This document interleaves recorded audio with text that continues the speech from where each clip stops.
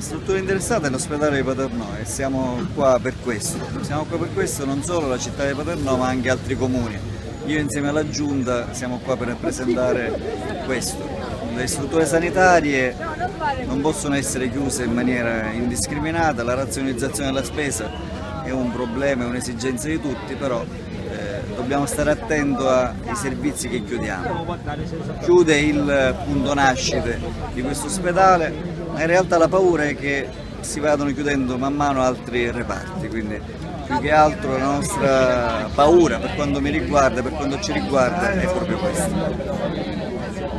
Nonostante questa situazione si porta avanti da vent'anni, perché da vent'anni si presenta il problema dell'ospedale di Paternò e di tutti gli ospedali piccoli della provincia etnea, adesso è stata fatta una scelta a quanto pare definitiva e si comincia col punto nascita, ma noi abbiamo paura come comitati come varie associazioni che questo sia il punto di partenza per smantellare tutto l'ospedale di Paternò a favore di eh, praticamente ospedali molto più piccoli e meno potenziati di quello che sono il di, il, la struttura che c'è sul eh, comune di Paternò che a tutt'oggi da pochi mesi ha a disposizione anche una risonanza magnetica all'avanguardia che è stata praticamente riconosciuta con i fondi europei, quindi la comunità europea riconosce un'eccellenza al comune di Paternò al fine di dare determinate strutture. E invece la regione con un decreto così ballerino che si alza dall'oggi al domani